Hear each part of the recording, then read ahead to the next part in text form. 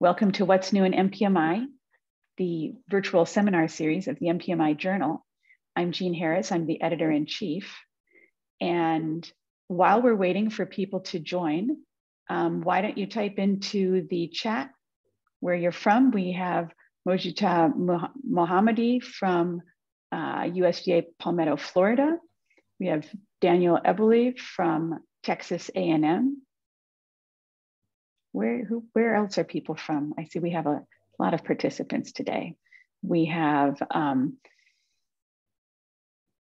Arpan Kumar Basek from Krakow, Poland, Kaustav Ganguly from St. Jude's Children's Research Hospital, Memphis, and Sridhar Ranganathan from Chennai, India. Okay. So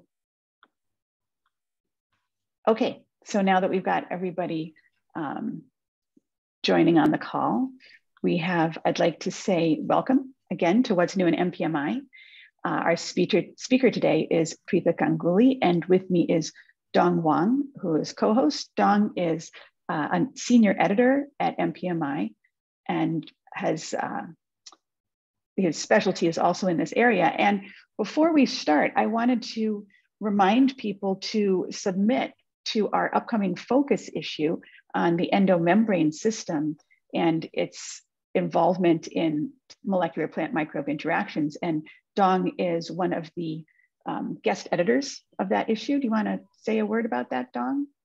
Yeah, so this is a topic that we feel very excited about. Um, we know there are a lot of things going on when two organisms interact very closely, and what's really been uh, an explosion of research are those vesicle trafficking, both within each organism as they talk to each other, and also sometimes extracellular vesicles as they communicate uh, directly with each other. So if you have a nice story, whether it's a review article or it's a, a research manuscript, we look forward to, we encourage you to consider MPMI. We look forward to reading your manuscripts. Thank you. Yes, and um, Karen has typed uh, the link to the information about our focus issue into the chat. So please follow it up. Uh, I should tell you, we also will be including things like technical advances and short communications. So hope to have your papers in that issue of MPMI. I also wanted to let people know about uh, that MPMI is doing something special this year. We are offering an $800 discount for papers with a student first author. So this is an opportunity for us to uh, support uh, students and our, our early career researchers. And Karen has typed that link in as well. And that um, special offer continues through the end of June. So I hope that um, that you will take advantage of this. And I just want to point out that our last speaker was a graduate student, as is today's speaker, uh, Pritha Ganguly, who is just completing her graduate work. And we've had some really excellent papers submitted to MPMI from with graduate student first authors. So this is your opportunity. Finally, if you would be interested in helping us to edit the Zoom transcript to make sure that it is fully accessible to everyone, we would really appreciate that. So if you are interested in helping in this effort, please type into the chat. The Zoom transcript will be created, so you aren't doing it from scratch, but as you know by now, Zoom only, you know, that, that live captioning only does so well with um, scientific words and people's names. So this is your chance to help make this more accessible when we post the recorded version.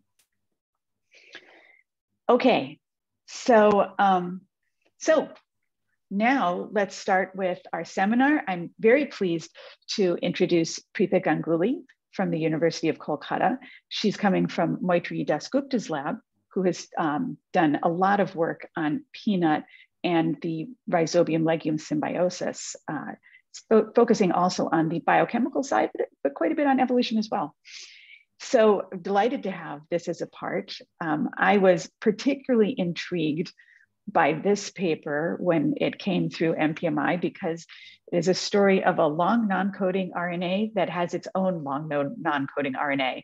And those layers upon layers of regulation I think, tell us something very interesting about the plant and also about plant microbe interactions. So that was why I invited Pritha to give today's seminar. And I will turn it over to you, Pritha, and please share your screen. And while she's doing that, I just want to remind people that we will be taking questions from um, typed into the Q&A box. So you can type them into the Q&A box at any time during the talk and we will follow your questions at that point. We will not be taking questions in the chat. Okay, Pritha, over to you. Thank you, Jean, for this wonderful introduction. So, yeah, I have just now shared my screen.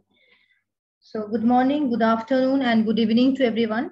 Hi, I'm Pritha Ganguly. I'm currently pursuing my PhD under Professor Maitri Dasgupta at the Department of Biochemistry, University of Calcutta in India. At the outset, I want to thank Professor Jean Harris and her entire team for giving me this opportunity to talk about our work that has been recently been published in MPMI titled the natural antisense transcript.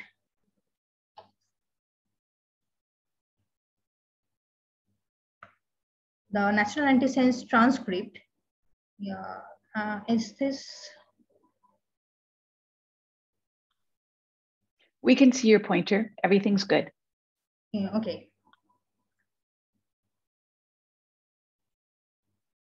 just sec the natural antisense transcript DONE40 uh, from the LNCRNA ENOD40 locus interacts with the set domain protein ASHR3 during inception of symbiosis in Arachis hypogaea. So before going into our work, I would like to briefly go through a perspective to highlight why we attempted this work, and then I would give a brief background on ENOD40. So this phylogenetic tree I have borrowed is from Toby Nature Communication, where they stated that a single evolutionary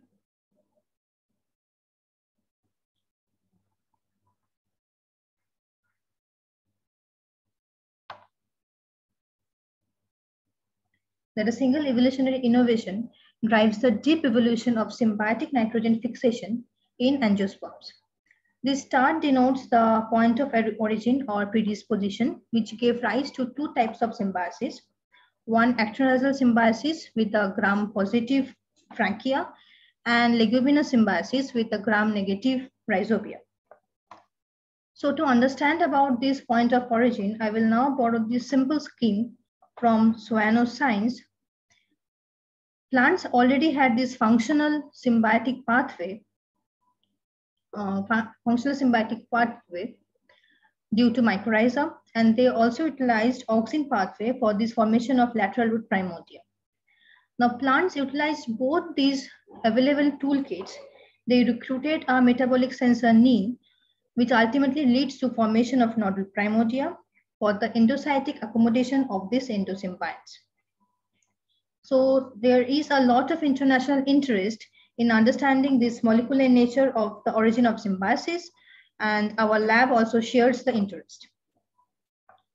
Now, there is a diversity in developmental process during root nodule symbiosis. For example, in actinorhizal nodule, which is actually a modified lateral roots, we can see a central vasculature with a perpetual meristem, whereas in leguminous nodule, that we can see the, uh, which is which are modified or no, novel organs caused by cortical cell divisions, we can see peripheral, uh, peripheral vasculature and there may be present or absent of this meristem. Similarly, there is also diversity in the bacterial invasion process. The, the most prevalent method is by uh, through the hollow tubes in the root hairs known as infection thread. But in 25% of the cases as marked in the phylogenetic tree, bacteria can enter through the natural cracks in the epidermis. And one such example of this crack entry legume is Arachis hypogaea, where our entire work was undertaken. Now, before going into uh, ENOD40 background, I want to share a very interesting uh, observation which was published from our lab much before I joined for PhD, which showed that on downregulation of a common symbiotic pathway gene, CCAMK, leads to lateral root formation from the nodular apex, which means it started showing actinorhizal features. Similarly, from Hassan Gherbi's lab, it was shown that on downregulating SymRK, there was also increase in the number of these nodular roots. So with these observations, we can see say that there is a thin layer of overlap between the developmental procedures of this actinorhizal nodule and this Arachis nodule. So with this, if I start, go in the background of ENOD40, I would like to state the most interesting fact that ENOD40 is not required during nodulation in actinorhizal plants. So it is, we can say that it is required in legumes. So what is this ENOD40? All our understanding about ENOD40 is majorly from the work done by Professor Martin Crespi and his lab.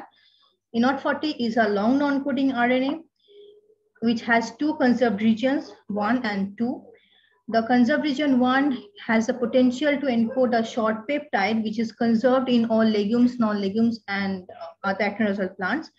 Whereas the conserved region 2 is shown to provide the stability to the RNA.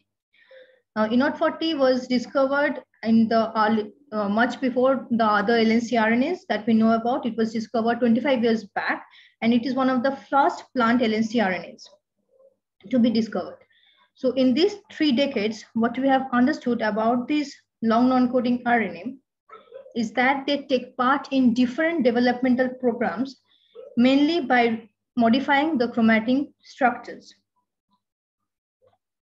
And now if I go in, uh, if I tell about the functional role of ENOD40, as demonstrated by many investigators, ENOD40 expression is associated with vasculature, vascular system in the paper published from Katharina Pawlowski's lab, we, they have shown that ENOD40 is expressed in both actinorhizal nodule as well as, as well as in the leguminous nodule. But the primary role of ENOD40 in legume is said to be the induction of cortical cell division. And ENOD40 expression is said to precede much early and precede the even the cell division process. So this figure is from the Crespi's, uh, Martin Crespi's paper, and this is from uh, the FETMAP paper on Medicago truncatula, where they have cap, uh, compared the expression of ENOD40 during lateral root and the nodule development. Finally, in molecular level, ENOD40 is known to interact with the nuclear, the uh, nuclear protein RBP1, which is also known as the NSR1 or the nuclear speckle, speckle RNA binding protein and it helps in translocation of this RBP from nucleus to cytoplasmic granule. This NSR is known to be involved in splicing, but the exact targets uh, in root nodule symbiosis is yet not known. And also trap experiments showed that ENOD40 is associated with translational machineries, but the exact functions is yet to be understood. So with this background in mind, our objective was to understand the role of ENOD40 during root nodule symbiosis in this Crakenterium arachis hypogaea. Firstly, we did a blast search with the all available all, all with the all available ENOD40 sequence in the NCBI database. And it was interesting to find that ENOD40 matches uh, hits with the chromosome 5, chromosome 15, chromosome 3, and chromosome 30. In case of chromosome 5 and 15, matches were only found with the uh, conserved regions 1 and 2, whereas in chromosome 3 and 13, hits were match, hits matched only with the conserved region 2. So we further checked our expression profile from our transcriptome data, and we saw that with the progress of symbiosis, the expression of from chromosome 5 and 15 increases, whereas there was no such change in the chromosome 3 and 30 to study the biological significance of this ENOD40 in Arachis hypogaea, we did a downregulation. Uh, so there was around 66 to 83% reduction in the expression of ENOD40. And around 80% of the transformed nodules were reduced. For microscopic analysis, in microscopic analysis, we could see that in the control nodule, the cells were equally, uh, the cells were differentiated and had spherical symbiosomes, whereas in the downregulation, downregulated nodule, uh, nodules, there were presence of undifferentiated uh, and rod-shaped bacteria.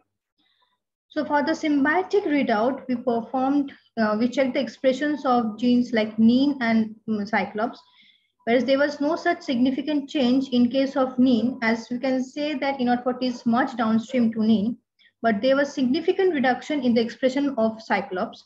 So we can hypothesize that this may be a part of the feedback mechanism uh, when we were performing all these experiments, our collaborators were actually annotating the long non-coding RNAs in our strand-specific transcriptome. And they found a very interesting observation.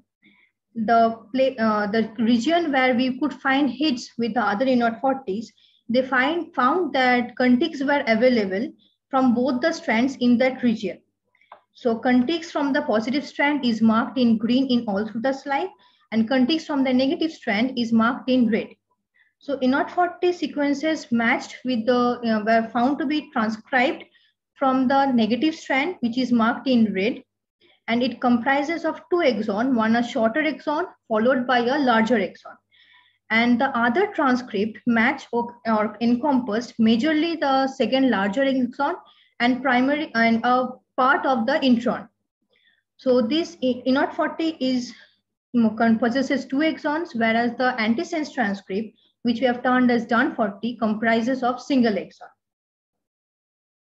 Uh, so this is the first time we could note that there is a presence of two exons in case of ENOD40, and also there is a presence of natural antisense transcript of ENOD40, which is also known as DONE40 now. So when they check in the chromosome 15 region also, they could find that the only contigs were available from the positive uh, strand, which is marked by green. And it also comprises of a smaller exon followed by a larger exon. And these ENOD41 and 2 from chromosome 5 and 15 shares around nine, more than 98% similarity. And the only difference between these two transcripts is the insertion of a 28 base pair in the ORF2 region of ENOD41, which we use as a marker to differentiate between these two. So we can say that DONE40 is actually acting as a cis natural antisense transcript for ENOD41 and a trans natural antisense for ENOD42. So like in the animal system, it's well characterized as a sense antisense LNCRNA pair like ZIST6 or the MALAT1 TALAM1. This is the first time we can say that we are reporting a sense antisense LNCRNA pair for plants, which is a DONE40 and ENOD40 in this, in, in this study. So we also validated this presence of the two exons in ENOD41 and the monoexonic in the DONE40 in uh, by PCR-based method. And we further checked their expression. Uh, ENOD40 as well as the DONE40 was found to be expressed uh, was found to be expressed with the progress of symbiosis and they were uh, expressing in both the nuclear fraction as well as the cytoplasmic part Similarly, uh, DONE40 was also expressed in the nuclear fraction as well as the uh, cytoplasmic part. And DONE40 is, uh, the expression of DONE40 increases from the four, uh, four days post-infection time, point, time point. Sorry. So with the discovery of DONE40, we looked back in our uh, RNAi data and we found that all the three transcripts, both the ENOD40s as well as the DONE40, were downregulated in the RNAi nodulated root uh, tissues. So we could say that DONE40 along with ENOD40 is involved in the root nodule, nodule in Arachis hypogaea. So we further proceeded for our next objective and we were looking for the potential interactors of DONE40.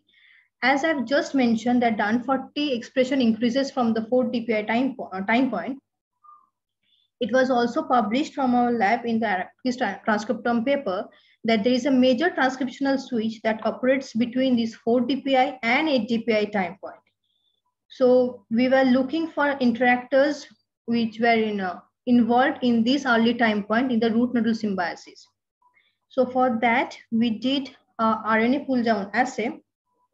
We actually biotinylated the RNA, bound it with a streptavidin magnetic bead, and we allowed it to mix with the whole protein lysate at the four days post-infection uh, roots. And we studied the interacting proteins by the mass spectroscopy. The first hit that we found was from a set domain transcriptional regulator from the Arabidopsis thaliana. So we looked back in the Arabidopsis database and we found that this set domain transcription regulator is part of the trithorax group protein. So we looked in our Arachis database and we searched for all the set domain containing trithorax group protein. And we found these 50 proteins to be uh, containing the set domain and was part of the trithorax group protein. We appended, appended all the sequences of these 50 proteins with the Arabidopsis thaliana database and we looked for the sources of the proteins that were interacting with DONE40 we found these three peptides to be interacting and they belong to these proteins. Interestingly, whose expression was also increased with the at the 4 to 8 dpi time point. We further validated this interaction in both in vitro as well as in vivo method. For in vitro validation, we performed electrophoretic mobility shift assay. We radiolabeled the RNA and allowed it to bind with the protein where we could see shifted bands and we increased the level of non-labeled self-competitors as well as the non-self competitors.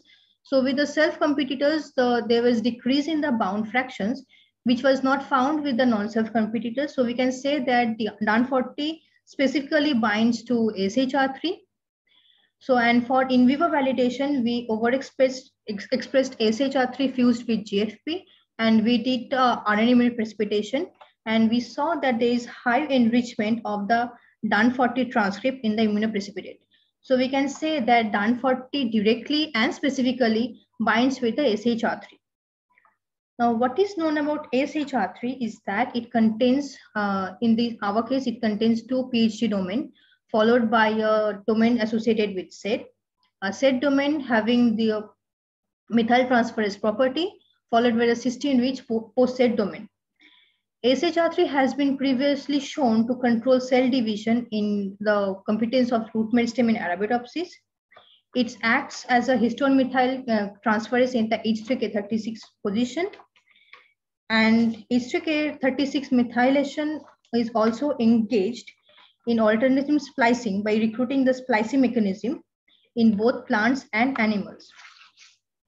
So uh, with this, thing we further wanted to check as, as DONE40 was interacting with ASHR3 and this polycomb trithorax response elements uh, like the this LNC RNA gets transcribed into LNC RNA and they bind to the RNA um, and they get bind with this uh, RNA and loop back to the same locus. So we search for cis motifs in the ENOD40 loci we searched for many motifs, but we could find enrichment of this phi, GA, and ULT1 motif in the ENOD40 loci. So we can say, uh, we can probably uh, hypothesize that this ENOD40 may act as a response element for polycomb or trithorax, which functions antagonist to each other. Further, we wanted to study the land, histone modification landscape in the loci. For that, we performed chip assays in using the activation marks as H3K36 trimethylation, H3K4 trimethylation, H3K27 acetylation, H3K9 acetylation. And we also checked the repressive marks, H3K27 trimethylation. So there was no such enrichment of the repressive marks, but there was high enrichment of the activating marks, of which H3K36 trimethylation is the mark deposited by ASHR3. So with these results, we can uh, hypothesize a model based on the model proposed by Professor Ringrose that from the same locus, which is enriched with the response elements of for polycomb and trithorax, both sense as well as the antisense, that is ENOD40 as well as the DONE40 are getting transcribed. The DONE40 is interacting with the trithorax group protein, which is uh, in our case ASHR3. It may also interact with other factors like any other transcription factor And this LNC RNA guides this complex to the back in the same locus where they gets deposited and, and deposits their mark in which is in our case H2K36 trimethylation in the locus for its further activation. If we elaborate this model, we can say that chromatin uh, of the chromosome 5 is in the inactive domain. When the DONE40 gets transcribed, it recruits the SHR3 protein, which sub, uh, deposits the H3K36 trimethylation marks and let the chromatin from the inactive domain for the in the active domain. And it is interesting to see that in the near vicinity of this ENOD40 loci, there is presence of various major symbiotic re regulated genes like SMARCA1, Cyclops and others. So we further uh, went to, uh, we further showed the congruence between ASHR3 as well as the ENOD40 but, uh, we can see that in the phylogenetic tree, ASHR3 and ENOD40 clustered in a similar way, where they segregated in legume, non-symbiotic, and the actinorhizal pattern. And considering their involvement during root development, and such congruence between this phylogeny and phenotype indicates the ENOD40 and ASHR3 association due to nodule development. Further, I want to show you a glimpse that we have also published in the paper about the locus synteny around ENOD40.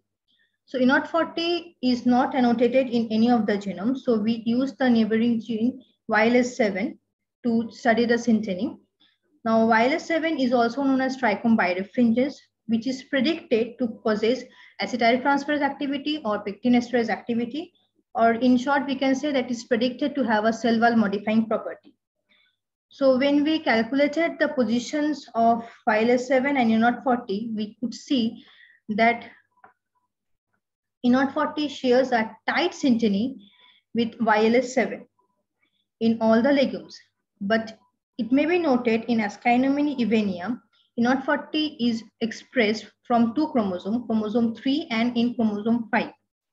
The symbiotic related ENOD40 is expressed from chromosome 3 in case of Aeschynomene where the synteny is not found between YLS7.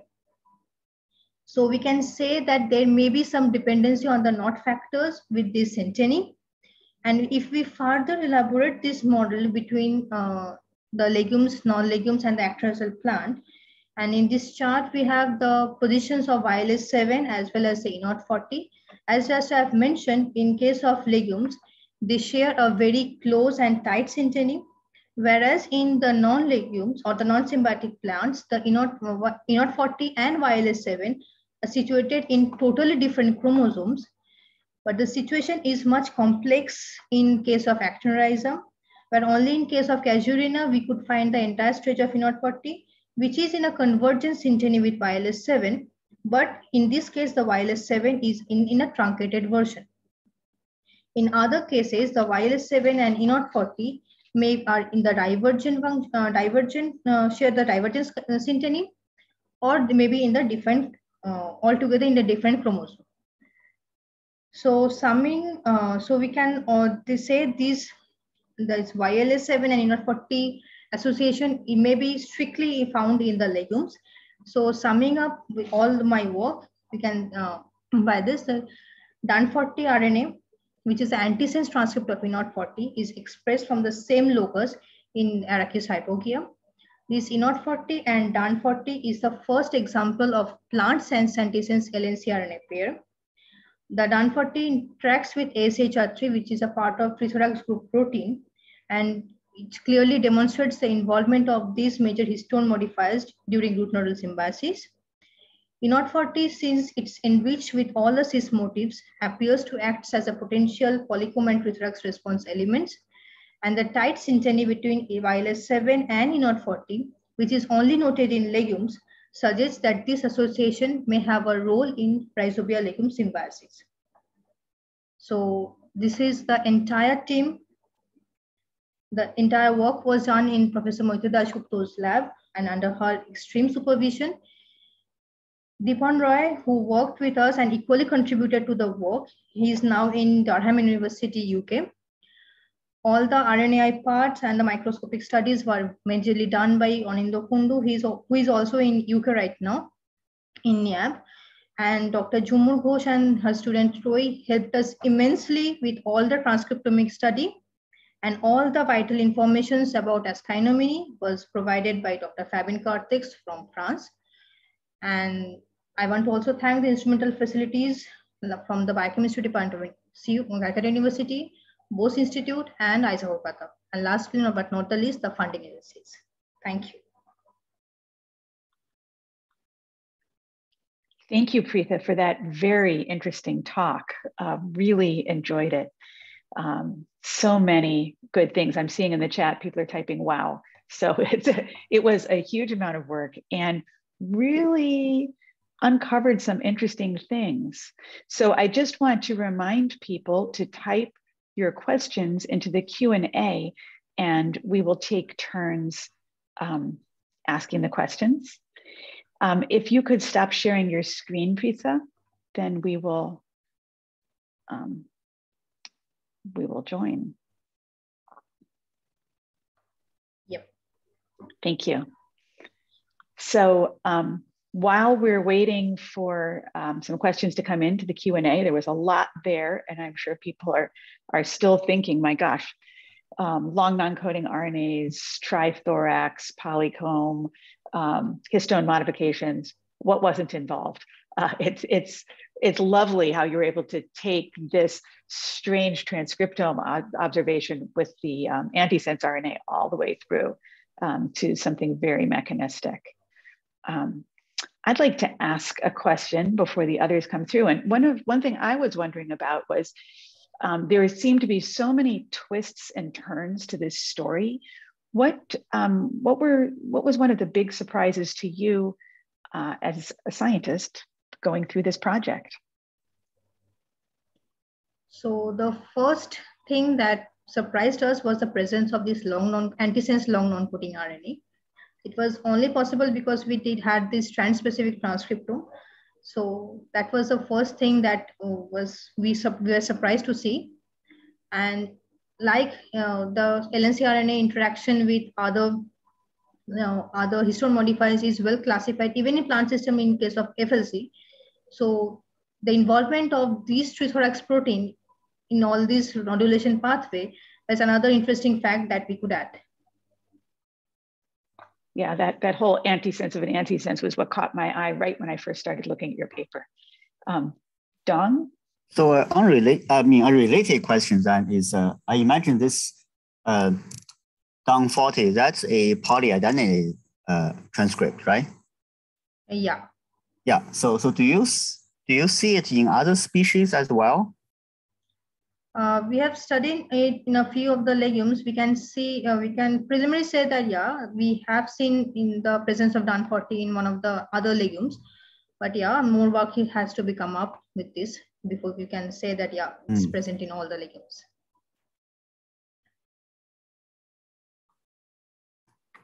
And the um, I've also been thinking about this ASHR3 protein that you fish out uh, from mass spec. Uh, yeah is it known to bind? Is this known as known as a RNA binding protein, or this is the first time you show that? No, no, no. It has been previously shown that ASHR3, the domain containing these proteins, can bind both this RNA and the DNA. Mm. Which part of the which which domain binds?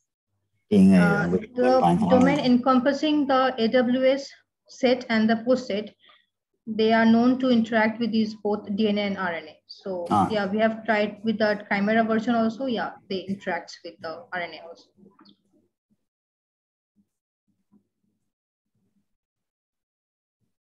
From a biotechnology point of view, I was wondering, what do you think it's possible that that you could change some of the sequences of the antisense RNA to still bind the set domain, but maybe target another gene um, to change its histone modification. I wonder, I, I feel like there are a lot of possibilities there. Yeah, there can be other possibilities of acting is as a trans uh, trans LNC RNA, but yeah, more work needs to be done before we can we can only hypothesize at this moment. Yes, yeah. So I see some of the questions are coming into the chat. If you could please type them into the Q&A, then we will get at those. Maybe I can start by this one in the in the chat box already. So uh, Mojtaba Mohammadi uh, was asking whether you have in the similar work, whether it has been done in soybean in their interaction with bradyrhizobium. So by, by similar work, I, I imagine not in not 40 or, or their anti or its antisense.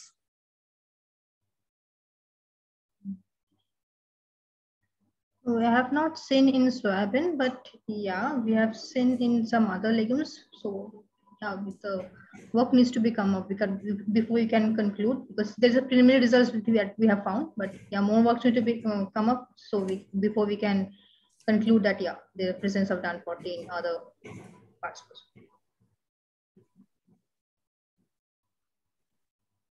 I was curious, did you pull out any other potential binding proteins or was it was the SHR3, the ASH R3, no, the one we, that you just followed up on?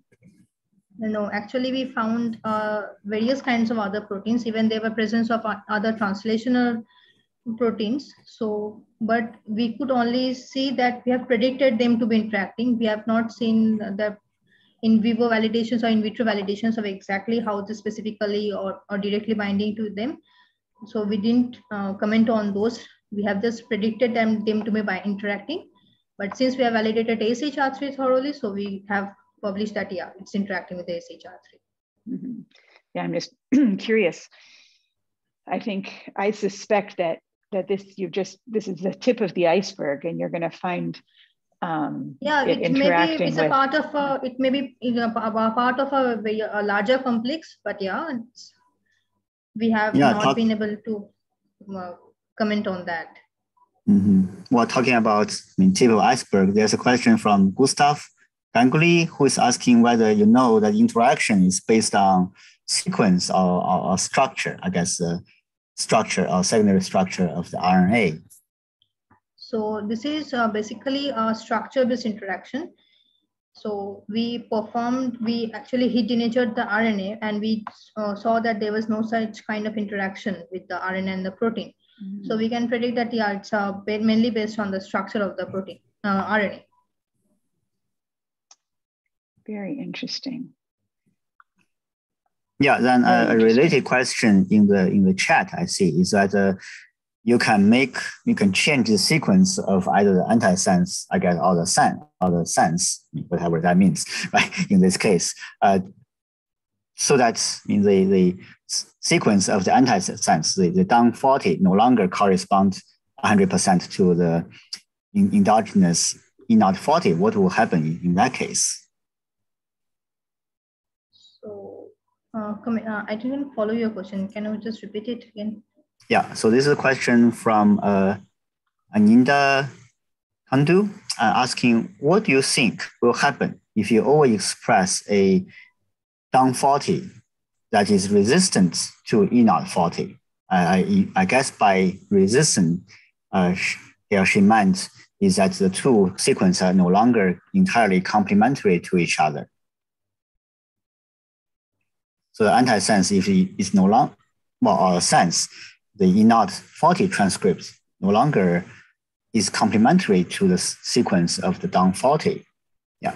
Will that have any effect on okay, here, yeah, that's, here on That's a very interesting question.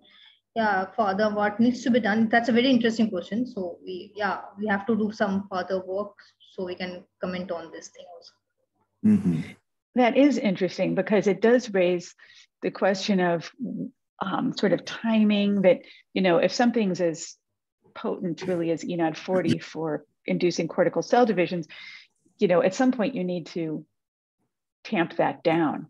And so um, what would happen if there was no DONE 40 to do that? So that's a really interesting question. Just a reminder to type your questions into the Q&A um, yeah, this way we can more, more easily track and, and yes, exactly. miss the questions that are in, in the chat. But while you do that, there's one from Li Yun Yun Yang. Uh, the question is a general question, how to determine whether a gene encodes not protein, but lncRNA. So how do you know if a transcript is lncRNA, right? So, so you can use the coding potential calculator to check whether it, uh, what is the potential of its getting encoded. So in our case, we also checked the coding potentials and we found that they are you know, both the ENOD40 and DONE40 are non-coding. So we have predicted it to be a long non-coding RNA. So yeah, we can check the coding potential only to check whether it's a coding RNA or this uh, non-coding RNA.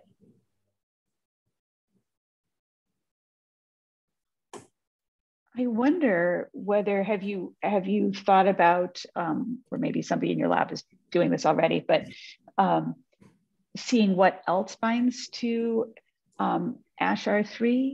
You know, what are it has that set domain and it binds to DONE40. Um, but can you go backwards and find its other partners? Uh, no, not uh, we are actually being now focused on the understanding the role of this antisense RNA. So maybe some other group or some other lab members will come up with these ASHR3 interacting factors also. Yes, that's interesting. What are you thinking about with um, this long non-coding RNA? So this long what are the next questions? Uh, say there uh, is uh, in other systems it has been widely studied that these long non-coding uh, long non-coding RNAs who interacts with the histone modifier interacts have various other protein complexes interacting with it. So we are now actually looking in these other interacting factors also. So there we have some preliminary data and okay, so maybe soon we can come up with some other factors that may be interacting and we can predict some other more, we can focus on other models also yeah, I think that's going to be very interesting. So finally, we have, I mean, not finally, but next we have a question from Goswell uh, Su Fang and Su Fang. He, he's asking, I mean, commenting that he loves the technical part of this study. And then he has a question about research and development from the research development perspective or from an application perspective. So if you are a person who is not a scientist, you're just a layman, like a farmer who is growing peanuts, right? So what's the take home message for, for that person? Or what can he or she mean, understand or benefit from, from your study? Yeah, I think that's something we all need to keep in mind when we carry out basic research and how, how ultimately that might benefit the, uh, the practice of agriculture. Yeah, see, uh, basically peanut is an uh, very much economic, agriculturally and economically important uh, crop plant. So we have to, before we can focus on enriching its or uh, uh, develop its growth, we need to know about how they are fixing at what is the mechanism of these basic things, root nodule symbiosis. So if we can know the pathway, then we can address the future also the how we can improve these uh, or utilize this plant as both as a fertilizer, which we can they fix the nitrogen. So yeah, so this is a one of the preliminary studies we can say that which we eventually help in uh, understanding its uh, major roles. We have one question in the Q&A from Igor Krivoruchko, who says, Pritha, this is a great study. Um, Thank you. In Medicago truncatula, ENOD40 is known to be a protein coding transcript, really, I guess, peptide coding transcript. Um, and he's asking whether ENOD40 is a non-coding transcript or whether, could you address that? So basically, ENOD40 has been studied as a non-coding RNA, but since it has a potential to code uh, small peptides, so nowadays, the people around, on investigators around the world say that these are known as both coding, non-coding RNAs. So, or these are CNC RNAs that we, they have turned. So, yeah, we can say that ENOD40 can be, uh, we can say that ENOD40 can be both coding and non-coding, but it's a CNC RNA. And I yeah, honestly think that's the first one I ever, ever read about was ENOD40. being both a long non-coding RNA and something that encodes peptides. And that was controversy for years, but it looks like it can do both. Yeah, that's what we were talking before before the seminar started. That we are chatting that not 40 is such one with with such a long and uh, long history. But it's quite clear that the, this antisense is DONE 40. This is entirely non-coding, right? Yeah, it's it's entirely non-coding. It doesn't have any such coding potential. Yeah. Yeah. That makes things easier, right? and I know long non-coding RNAs are tend not to be that conserved between um, different plant species, uh, except for very closely related. So, um, so it's, it's interesting. I wonder where that level of regulation came in um, and how widespread it's going to be. That's going to be a very interesting question.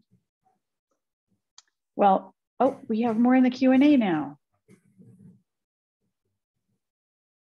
Right, so Gustav is asking another question, whether you know DONE 40 is involved in phase transitions. So, so now there's this such a hot, hot topic of, of liquid, liquid, liquid phase transitions, right? Yeah. Inside, inside cells. And yeah. very often because in proteins and large molecules aggregate. So do you know if in DONE 40 could be involved? That's a very relevant and as well. well. as that's a very relevant and interesting question. But yeah, uh, it's too early to predict that it's uh, whether it helps in this phase transition. But yeah, we can definitely address to this in future times. It's a very interesting question and very relevant at this moment. It is a good question. Um, our next question is from Igor Krivoruchko again who notes that it may be, it's really more of a comment, it may be interesting to check if the peptides encoded by the sense transcript physically interact with the antisense transcript. So yeah, what is the function of those peptides? That's yeah, still a big mystery. Also. Yeah. yeah. Well, um, this has been a terrific talk. I think we have um, come to the end of uh, of our questions. If I'm so, may I may I insert one last question here? Absolutely. So I was looking at your figure five when you look at the, the in chromatin modification at the ENOD40 lo, in loci in, in peanuts. But uh, do you think the effect of DONE 40 and the, uh, ASHRs three, right? Is it mostly locally on ENOD 40 loci, or is it more a global regulation of have, chromatin? Yeah, we have not checked the global effect of this ASHR3. We have just focused on this 40 loci. So we can say that we have just wanted to predict whether it acts as a responsive elements. So we have just focused on this 40 loci only. So the global uh, scenario of this H2K36 trimethylation is yet to be understood. We have not checked it over there. Yeah. Well, this was a terrific talk because as you can see, it took us all the way from this very interesting observation just from gazing at the transcriptomics, seeing that there is an antisense RNA, all the way through to um, its binding partner, the fact that it's targeted back to that locus and affects histone methylation. Um, and yeah, it, and that um, the gene itself may be a target for polycomb trithorax. So it's just really a wonderful story taking all the way from this observation through to real mechanism and, and possibly getting to some really important things like um, Dong was just talking about with phase transitions. So I can't wait to see where this takes, uh, takes uh, the lab next and also to see what Pritha's next steps are since she is completing her PhD and will soon be moving on to a postdoc. So um, if we could, Dong, thank Pritha. Thank you so much. So thanks to everyone. And please check back. Uh, if you go back to the same place where you registered for the talk, you will be able to find the recording um, probably in about a day. And um, I think I don't know if that has been typed into the chat yet, but that will be an easy thing. There you go. Recording will be posted here. And Karen, if you could also post the link to the paper, because one thing I want to remind people is that if this intrigued you, remember the details are all in the manuscript. And there's lots of great stuff and even more great stuff in the supplemental data. So lots of interesting things. Okay, yes, you can see the link for the article there. So anyway, I'm very excited to uh, host this, um, another great talk, another great paper from the MPMI journal and to have another another good talk. And I think that this talk will be, this recording will be one that people will be um, coming back to again and again. Lots of interesting Fabulous. Yeah. All right. Thank you all. Thank you for okay. joining us. Yeah. Thanks for joining us. Bye, everyone.